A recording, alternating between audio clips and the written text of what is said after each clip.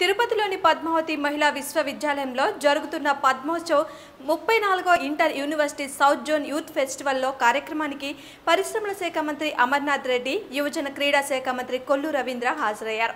సాంస్కృతి సంప్రదాయాలను భవిష్యత్ తరాలకు అందించడంలో యువత పాత్ర కీలకమని అన్నారు. చదువుతో పాటు యువత జీవన నైపుణ్యాలు పెంచుకోవాలని మంత్రి తెలిపారు.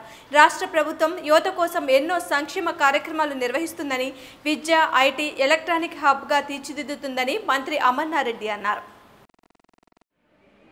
కల్చర్స్ కానీ మన సంస్కృతి సంప్రదాయాలు ఎందుకంటే భారతదేశంలో మన సంస్కృతి సాంప్రదాయాలకు భిన్నగా ప్రపంచ దేశాల్లో ఎక్కడా లేవు. మన సంస్కృతి సాంప్రదాయాన్ని గౌరవించుకుంటూ భారతదేశంలో ఉన్నటువంటి విభిన్న సంస్కృతులు విభిన్న మతాలు విభిన్న కళలు వాటన్నింటినీ కూడా విద్యార్థి దశలోనే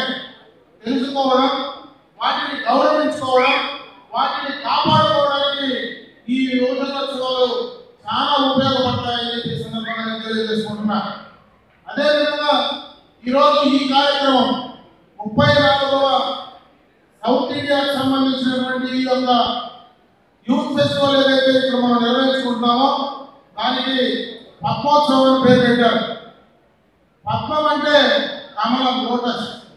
అది బురదలో అంటే మట్టిలో పుట్టిన మరి అది వికసించిన తర్వాత దాని అందం కానీ అదేవిధంగా దాన్ని భగవంతుని స్వరూపంగా భగవంతుడు పుట్టే విధంగా ఈ రోజు ఉన్నటువంటి విద్యార్థుల మనసులన్నీ కూడా పద్మాలలాగా మరి అన్ని సాంస్కృతిక సాంప్రదాయాలు అలవాటు చేసుకొని మన పెద్దల్ని గౌరవించి మన సాంస్కృతిక సాంప్రదాయాన్ని భవిష్యత్ తర్వాత చెప్పడానికి కాపాడుకునే విధంగా మీరు ముందుకు వెళ్ళాలని చెప్పి నేను ఈ సందర్భంగా కూడా మిమ్మల్ని కోరుకుంటున్నాను. ఈరోజు విద్యార్థి దశలోనే మీకున్నటువంటి స్కిల్స్ అన్ని కూడా మీ యొక్క కాంపిటీషన్ స్పిరిట్లో మరి ఏదైతే ఈ రోజు ఈ కాంపిటీషన్స్ అన్ని ఉన్నాయో వీటన్నింటినీ కూడా జోవియల్గా తీసుకొని మరి వాటన్నింటినీ వాటిలో కాంపిటేటివ్ స్పిరిట్ అలవాటు చేసుకొని మీరు ఆ పోటీ తత్వం అలవాటు చేసుకునే విధంగా కూడా ఈ కార్యక్రమంలో మీరు ముందుకు వెళ్ళాలని చెప్పి ఈ సందర్భంగా కూడా మిమ్మల్ని అందరినీ కూడా కోరుకుంటూ ఈ రోజు ప్రభుత్వ పరంగా కూడా ఏదైతే మన రాష్ట్రంలో మన ముఖ్యమంత్రి చంద్రబాబు నాయుడు గారు రాష్ట్ర విభజన అయిన తర్వాత ప్రత్యేకంగా యువతి యువకులకు భవిష్యత్తులో ఉపాధి అవకాశాలు పెంచే విధంగా ఎన్నో కార్యక్రమాలు ఈరోజు చేస్తా ఉన్నారు? మరి ఈ రాష్ట్ర విభజన తర్వాత మనం ఏ పరిస్థితుల్లో ఉన్నామో కొత్తగా కూడా చెప్పాల్సినటువంటి అవసరం లేదు.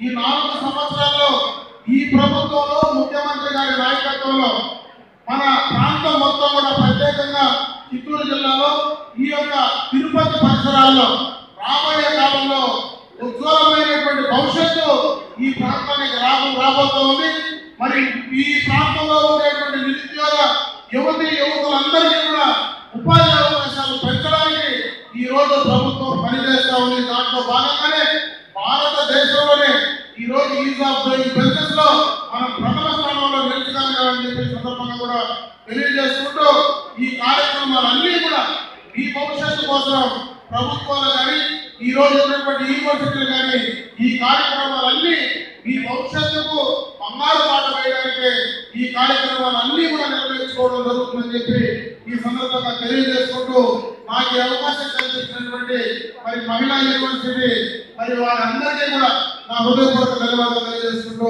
సెలవు తీసుకున్నాను.